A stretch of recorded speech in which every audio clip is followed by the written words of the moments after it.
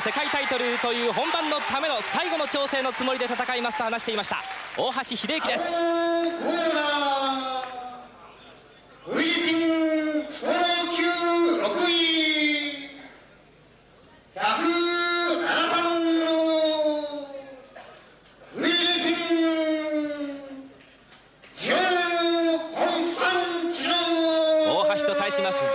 コンスタンチノ25戦して14勝 3KO9 敗2分けです。現在フィリピンストロー級の4位です。さてストロー級は105パウンドのリミットですがこの試合は契約ウェイト107パウンド48.5キロで行われます。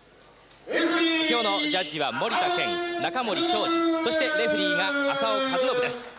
さて沼津さん、はい、まあ、コンスタンチのサウスポーという情報だったんですが、ええ、何かよくスイッチするようですね。まああの大足はよく相手を見て戦うので、え、あまりあの気にすることはないと思いますよ。あそうですか。まあ大橋また気にもね、はい、するような相手じゃないと思います。あ難しい相手ではないと、はい、そういうことですね。大橋チャンスがあれば1ラウンドから KO を狙っていきますと話していました。さあその注目の第1ラウンドのゴンが鳴りました。赤コーナー白いトランクス前 WBC ストロー級チャンピオンの大橋秀樹そしてそれに対します。青いトランクス。今背中になっています。フィリピンストロー級4位のジョー・コンスタンチノ。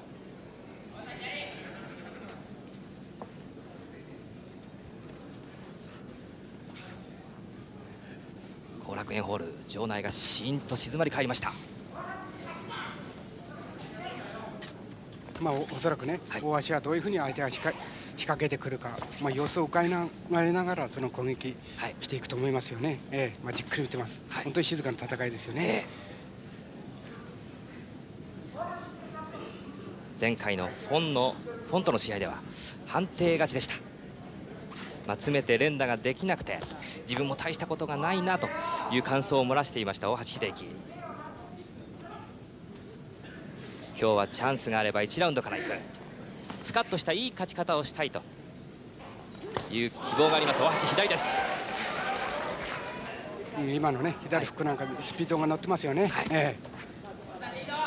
まあ、あと沼さん、今日は大橋のパンチのキレという話をなさってましたね。そうなんですよね、ええ、あのー、今までね、その倒せない時っていうのは、パンチが重みがあるわけですけども、はい、いわゆるそのキレっていうのがなかったわけですよね、ええ、重いだけじゃ相手は倒れないですから、まともに当たってもですね、いわゆるそのキレっていうものをね、いわゆるその今日みたいなと思うんですけどね、はい、おそらく今の左振ったスピードから見るとですね、はい、いわゆるキレのあるパンチを打ってくれると思いますよね。そのキレのあるパンチを打てる打てないというのはやはりその、はい、あまりその拳を強く握ったらですね、いわゆるその強いパンチを打てないんですよ。大橋の右です。ですから今まで銃の力で打ったものを6か7ぐらいのいわゆる拳の握りで打つとちょうどキレが出てくると思いますよ。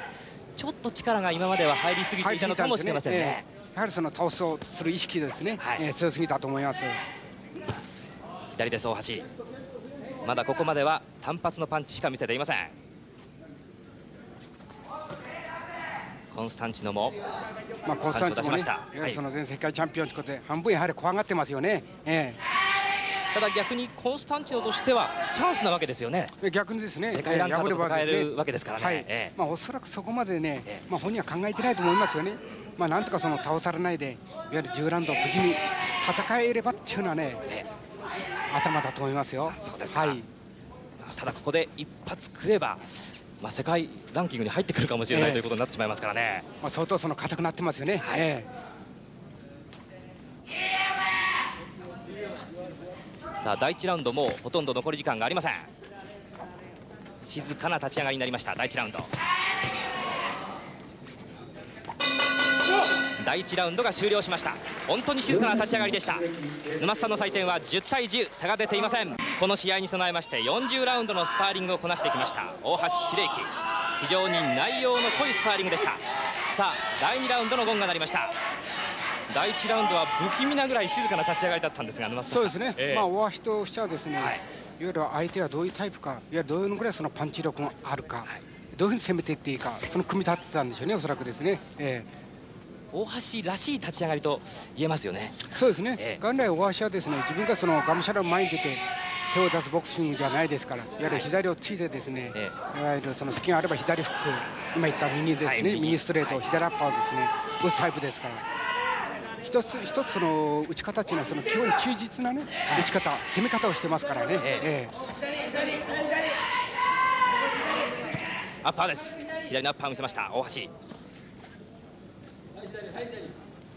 まあ、パンチ力、体も違いますから、ええ、まあ、どんどんどんどんね、逆にそのいった方がですね、え、倒すチャンスが生まれてくると思いますよ。まあ、大橋はどちらかというと、どんどん向かってきてもらった方がやりやすいタイプですよね。そうですね、逆にそのカウンターとかですね、いわゆるフェイントを使ってあのカウンターを打てますからね。はい、ええ。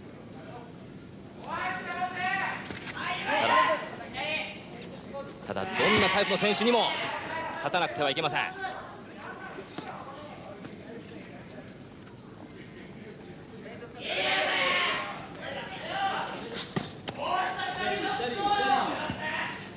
コンチノも一発打ってはちょっと逃げてるという感じですが大橋の左のフック、まあ、今サスポにね、はい、スイッチしたですけども、ええ。まあ、サスポもねあの対策今まで過去何度もやってますから、ええ、いわゆる慣れてますからね、ええ。ただこう突然こう右から左左から右に変わられるというのはやりにくいんじゃないかと素人目には思うんですが、えー、どうなんでしょう、まあ、あのその辺はやはり大橋は勘がいいですから、はい。えー、あの飲み込んで、あのー、戦って戦うことはできると思いますよ。はい、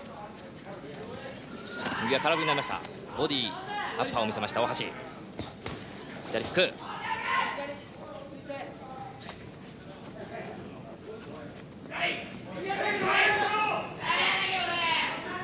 うん、大橋ね、相手が打ってくるところ、いわゆる右のカウンターね、狙うって打つっていうね、ええ、意識が今強すぎたんですけど、ええ、だからあんまりその一発パンチを狙っちゃいけないですよね。ええ、もう少し連打でいった方がいいそうですね、カレーパンチ、試合の流れでね、はい、ええ、組み立てた方がいいですよ。ちょっと打ち合いになりました。ねええ、はい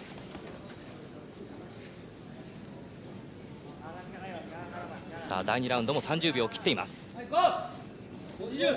まあ、まだね、大橋のその得意の左アッパーですね、えー、ボディボディブローがちょっと見られないんですけどね、そうですね、えー、有効に使った方がいいと思いますよ。はい、一昨年の2月7日、韓国のチェ・ジョンファンを左のボディアッパーで倒して、あ今打ったね、はい、えー、左アッパーから左フックを返すね、はい、パンチを有効に使った方がいい世界チャンピオンになりました大橋秀樹、さあ第2ラウンドが終わりました、このラウンドも沼津さんの採点は10対10、差が出ていません。フィリピンストロー級4位ジョー・コンスタンチノ。現在25歳身長158センチです。ここまでは大橋相手によく健闘しています。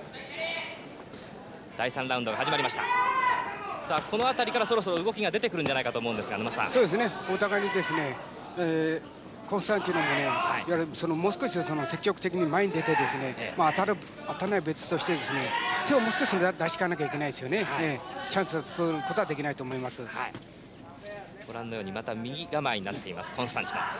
大熊さん、はい、コンスタンチノサイドなんですがね、はい、トレーナーのガルシアさんはね、ええ、特にあのコンスタンチノに対して攻撃面でのアドバイスは何もしてませんね。はい、ということはこのままのペースでもう少し見ていけということなのかもしれませんが。あそうですか、えあえて言ったのは、一言このラウンドちょっと注意していけというふうに言ったみたいですね。このラウンド、うん、やはりね、もうそう1、2ラウンド終わって、ええ、いわゆる相手、まあ、ワシですね、ええ。まあ、おそらくいわゆる前に出てきて、いわゆるその、まあ、相手の出方分かったから、いわゆる注意しなきゃいけないという感じでしょうね。はい、青コーナーからのリポートは田原宏アナウンサーです。大橋の左がカウンター気味に入りました。大久保さん、はい、大橋サイドです。はい、米倉会長に聞きましてね、はい、カウンターを狙ってるんですかと一言聞きましたら狙ってるよという答えが返ってきましたね。なるほど、えー、そしてあとはボディが出ればそれで OK だと非常に力強い答えが返ってきました。ああそうですかですからそのカウンターっていうのもね、はい、夜相手が前に出て手を出さない限りカウンターっていうのは打てないですから、はい。えーまあ、あの2ラウンドですか、まあ、ちらっとその右のカウンターね、はい、打とうとする意識でこっちに伝わってきたんですけどね、えー、まあ、相手がすぐ下がっちゃったから打てなかったんですけどね。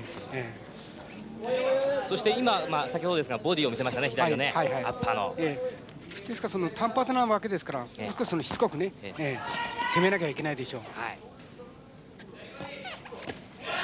今日は赤コーナーからは、え、松苗慎一郎アナウンサーがリポートを入れてくれています。大橋の右です。顔面を捉えました。そしてボディ。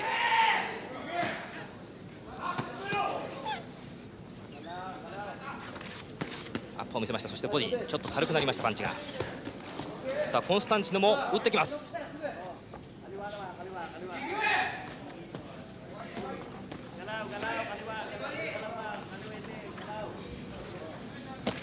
左のフック逆に右のフックをもらいました。右のフックです。右のフック顔面を捉えたそしてアッパー。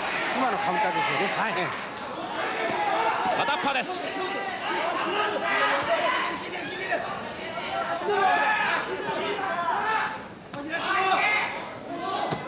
左フックそしてアッパーを見せました大橋。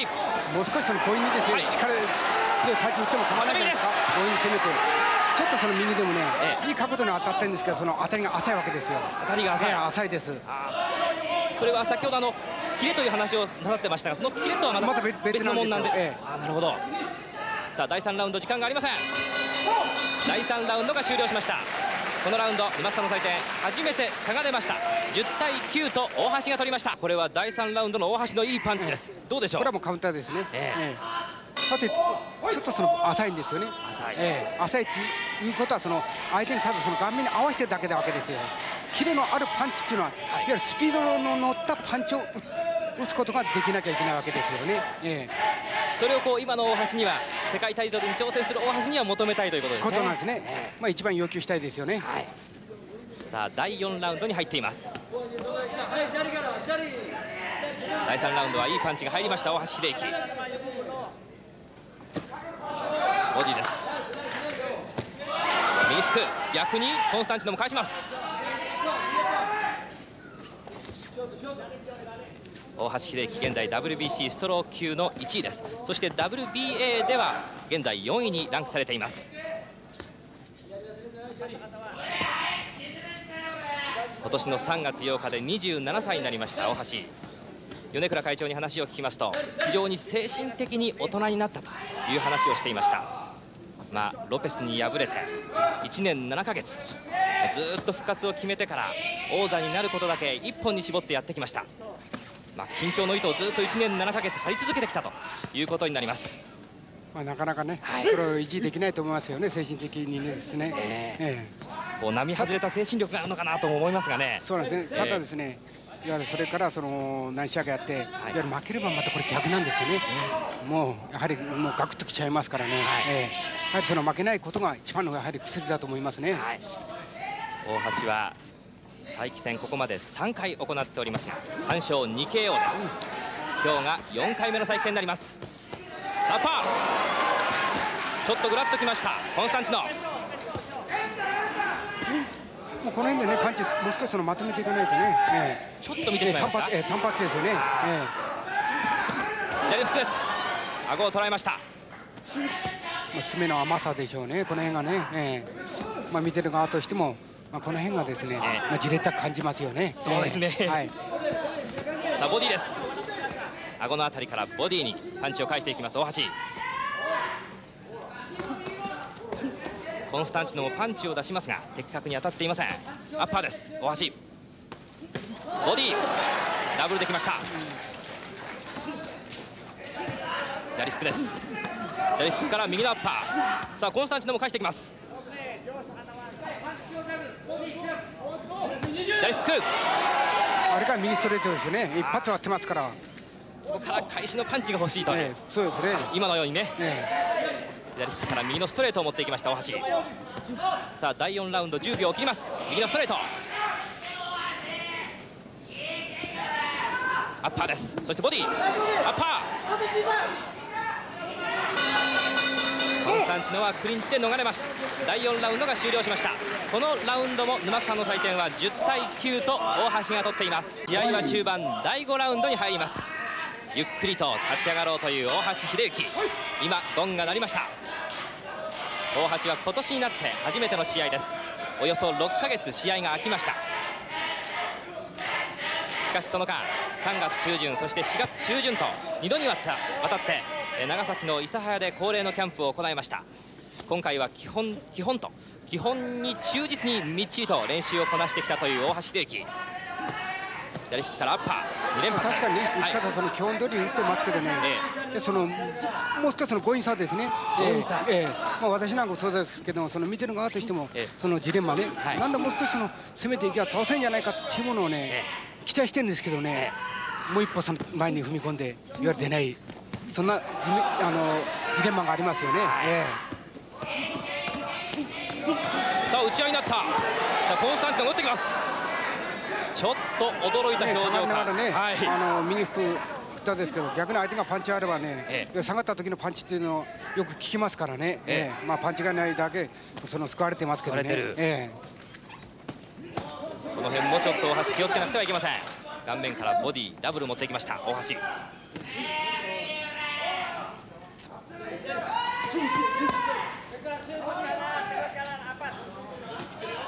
アッパーです。コンスタンチノも前出てきます。アッパーを見せます。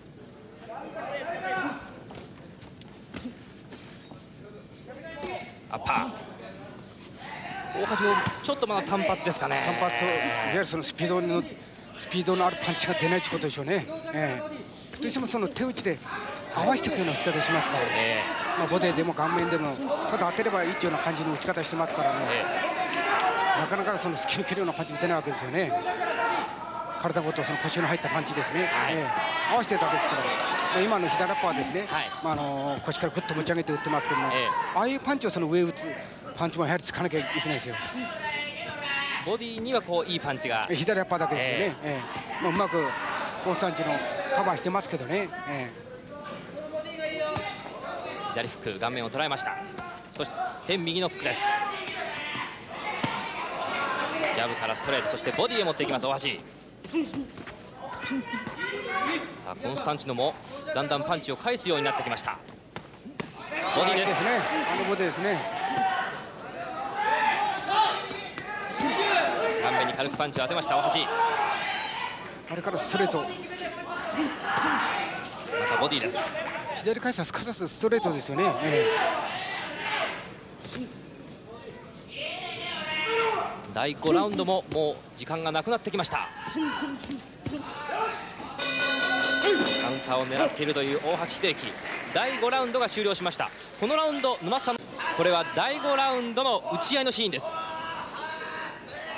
どうですかこれちょっと下がりながら受けてしまったというところなんですが大橋が。下がらやはりパンチ食いますよね、えー、よそのいい感のいい選手はやはり食いますよね、えーさあ試合は第6ラウンドに入りました。試合も後半に入りました。さあここまでこう全般戦をこう沼さんご覧になって、はい、どういう感想ですか？大橋のボクシング要するにその手打ちでねいわゆるただその相手に顔面でもいわゆるボディでもその合わせていくような打ち方しかしてないわけですよ、えー、ですからその体ごとその打つようなねパンチは今のところはその打ってないってことだけ。まあ、ひいて言えば良さっていうのはその左アッパーですね、はい、いわゆるその腰ごとその上に持ち上げるようなアッパーだけです、ね、ボディをね、えー、ボディですね、はい、え。ー、まあ、それだけですね今のところは。あそうですか、えー、決してその出来は良くないと思いますよ。スピードもいまいちだし、えー、いわゆるその腰から下ですね、はい、いわゆるそのついていかないまあ、今日もこう立ち上がり第1ラウンド、第2ラウンドとこう相手の様子を見ましたが、はい、そういうこう様子を見ているんでこうなかなかリズムに乗れなかったという部分はないでしょうかね。まあ、そういうのは、まあ、それはないと思います、もうこのくらいなベテランになりますとね、それはない,、ないと思います。左の服です、大橋、そして右、逆にアッパーを返します、コンタコンスタンチノ。